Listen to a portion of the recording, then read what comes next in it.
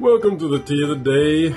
Today I am got a cold monstery tea because I'm trying to recover from a cold. That's why I'm all snuggled up here today.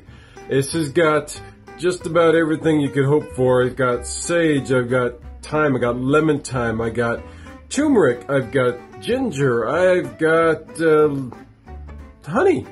Yeah, I got a lot of stuff in here. Oh, I even have, uh, oh, that reminds me now, I've got the cayenne in there too. Gives me quite a pop.